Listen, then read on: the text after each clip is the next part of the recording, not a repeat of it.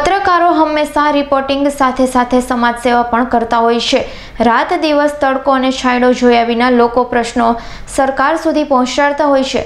આજે એમ એવા પત્રકારો સાથે આપણે મળવા જઈ રહ્યા છીએ જે લોકડાઉનમાં ફરજની સાથે સાથે સમાજ સેવા પણ કરી રહ્યા છે. સમગ્ર દેશમાં કોરોનાને લીધે લોકડાઉન થઈ જવાથી રોજનું કમાઈને રોજનું ખાતા લોકોના ધંધા રોજગાર બંધ થઈ જતા લોકો મુશ્કેલીમાં મુકાયા છે. લોકોના પ્રશ્નોની પત્રકારે વાચા આપતા હોય છે અને સરકાર સુધી પહોંચાડવાનું કામ કરતા હોય છે. લોકડાઉનમાં ગરીબ લોકો માટે સરકાર સામે આવી છે, સેવાભાવી સંસ્થાઓ પણ સામે આવી છે.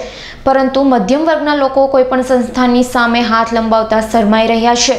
ત્યારે બનાસકાંઠા જિલ્લાના ધાનેરા શહેરમાં મધ્યમ વર્ગ માટે યુવા પત્રકાર એસોસિએશન આગળ આવ્યું છે. ધાનેરાના યુવા પત્રકાર એસોસિએશનના પત્રકારો દ્વારા મધ્યમ વર્ગ માટે કીટો બનાવવામાં આવી છે. આ કીટોમાં લોટ, ડુંગળી, તેલ, મીઠું, મરચાં, હળદર, ચા, ખાંડ, ગોળ નાખવામાં આવ્યા છે. જ્યારે કોઈ સંસ્થા કે દાતાઓ કીટ આપવા જાય છે, ત્યારે કીટો આપતા ફોટા પડાવતા હોવાથી મધ્યમ વર્ગના લોકો કીટો લેતા શરમ અનુભવે છે. પરંતુ ધાનેરાના યુવા પત્રકાર એસોસિએશન દ્વારા કીટો ડાયરેક્ટ મધ્યમ વર્ગના જરૂરિયાતમંદ લોકોને ઘર આપવામાં આવી રહી છે. સૌથી મોટી વાત એ હતી કે જે લોકો કીટોમાંથી મદદ કરવામાં આવી છે, તેમણે પણ ફોટો પાડવામાં આવ્યા ન હતા. અત્યારના સમયમાં સહાય આપતી વખતે દાતાઓ ફોટા પાડતા હોય છે, જેથી સહાય લેતા પણ ગરીબો અચકાતા હોય છે. પત્રકાર એસોસિએશન દ્વારા મધ્યમ વર્ગના લોકોને કીટ આપવાની સાથે સાથે ગામમાં રખડતા અબોલા પશુઓને ઘાસચારો પણ આપવામાં આવે છે. તો બીજી તરફ કેટલાક દાતાઓ જોડે અબોલા પક્ષીઓને ચણ નાખવાનું કાર્ય કરવામાં આવે છે.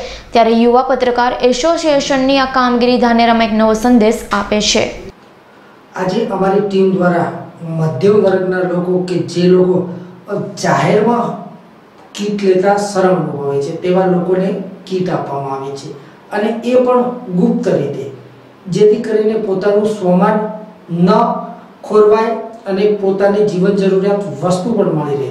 તેવા હેતુ સાથે આજે અમારી ટીમ દ્વારા તાનેરાના મધ્યમ વર્ગના લોકો કે જે દરરોજ કમાતા અને જે દરરોજ ખાતા, તે લોકો લોકડાઉનને લઈ ખૂબ જ મુશ્કેલીનો સામનો કરતા હતા. તેવા લોકોને આજે કીટ આપવામાં આવી છે. તો સાથે સાથે અમારી ટીમ દ્વારા અગાઉ પણ પક્ષીઓ માટે તેમજ અબોલ પશુઓ માટે પણ ભોજનની વ્યવસ્થા કરવામાં આવી હતી. સુરેશ ગલચરનો રિપોર્ટ બનાસકાંઠા.